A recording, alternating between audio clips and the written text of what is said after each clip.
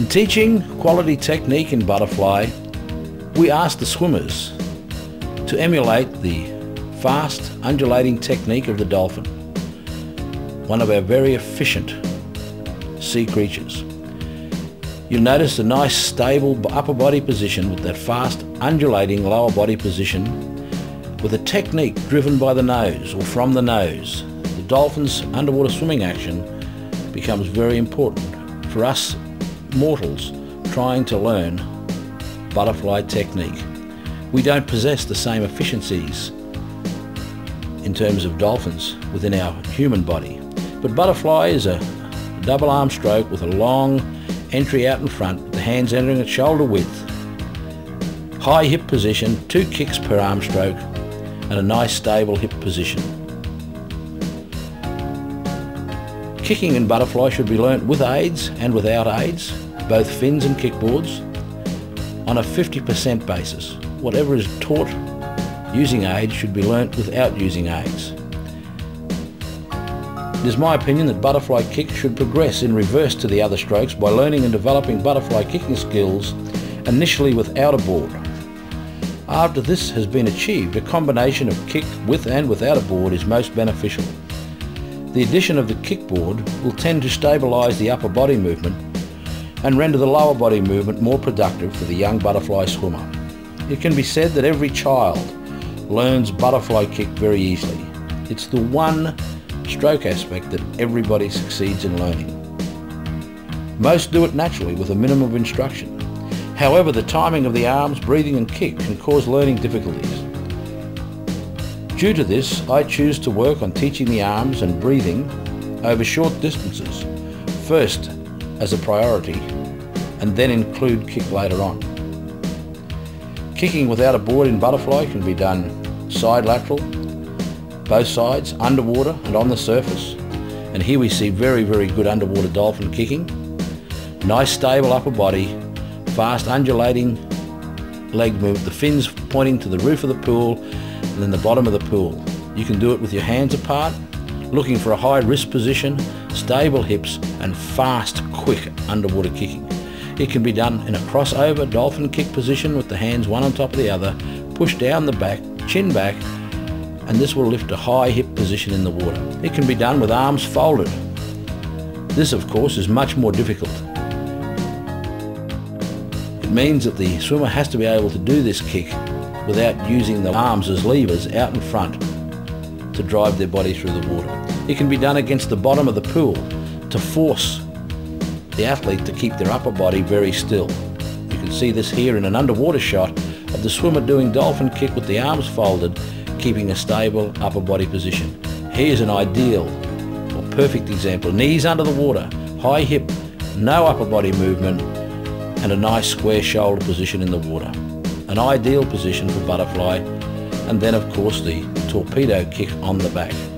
This also is a very very good position for learning butterfly but you have to watch the knees coming out of the water and this is a common fault.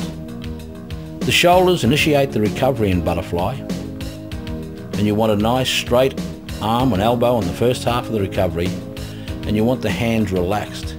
You want a long hand entry with a no splash entry and you want a flat back position as the hands enter the water.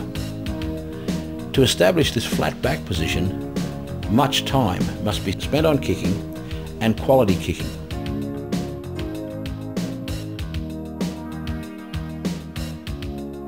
Here we see vertical dolphin kick with the arms torpedoed up in front where the athletes have to keep a very, very good straight body position.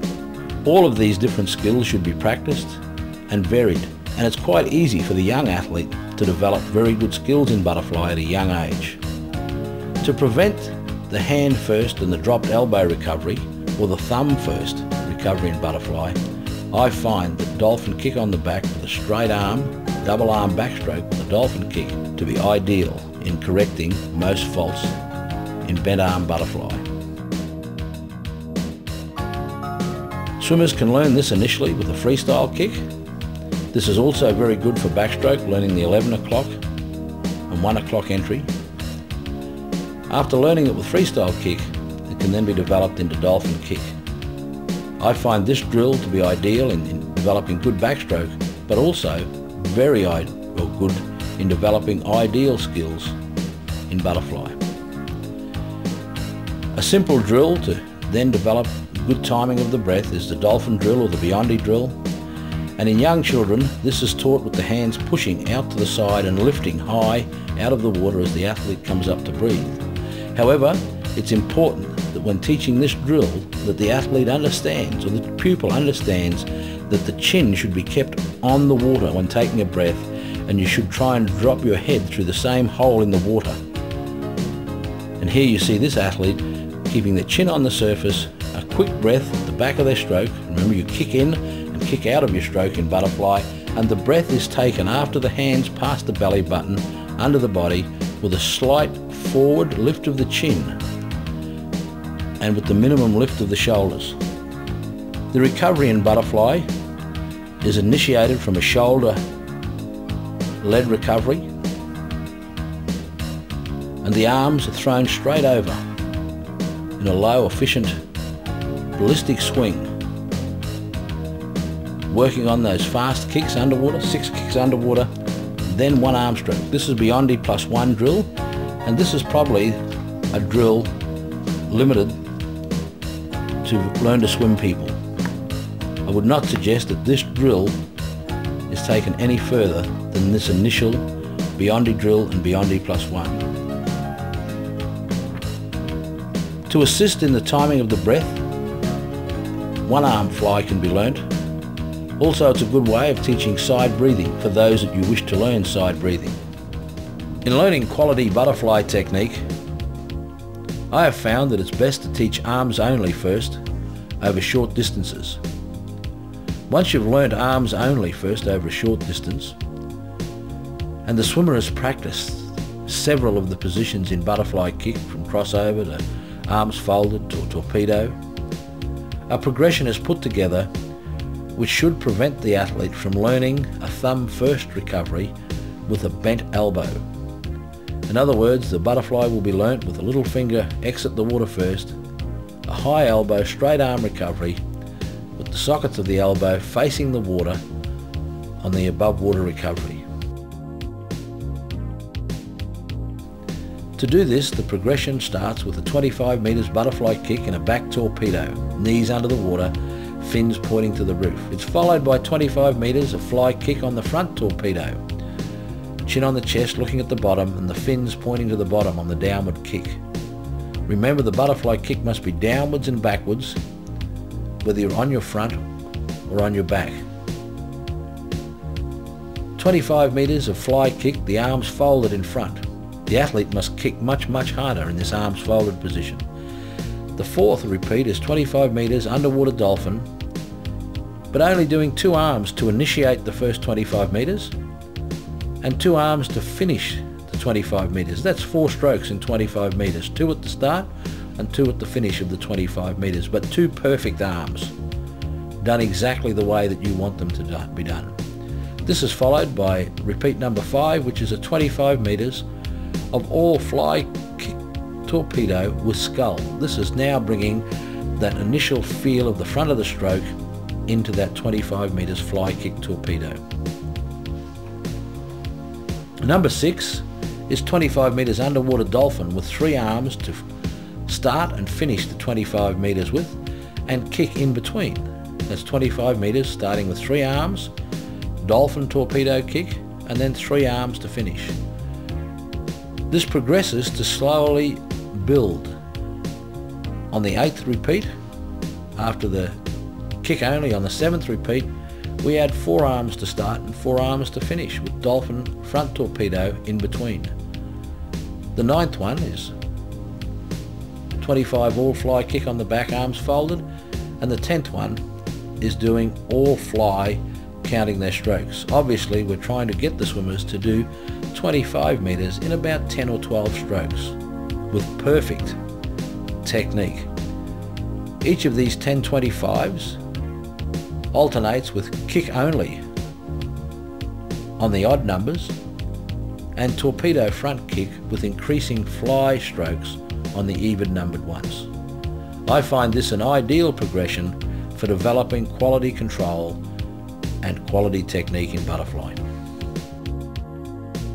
Here we see dolphin kick in a torpedo position on their back, then 25 metres fly kick on their front. By doing and reversing the fly kick from back to front, I think this develops a much better strength and skill in the fly. Then you do arms folded, fly kick on the front, which is much harder. An underwater dolphin,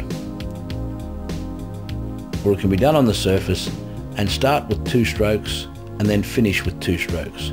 So the athlete will only do two strokes at the start and two strokes at the finish. Crossover kick can then be added. This promotes a high hip position and a good head position and a stable upper body. Then the next progression is three arm strokes at the front and at the end of the 25 metre swim and normal torpedo dolphin kick in between. It's important to make sure that both arms come over symmetrical, that is together. Torpedo kick with scull underwater is the next progression, promoting a high wrist, long arm position out in front. And of course then it's developed into four dolphin strokes, four butterfly strokes at the start and four butterfly strokes at the finish of the 25 with a little dolphin kick torpedo dolphin kick separating those two four strokes.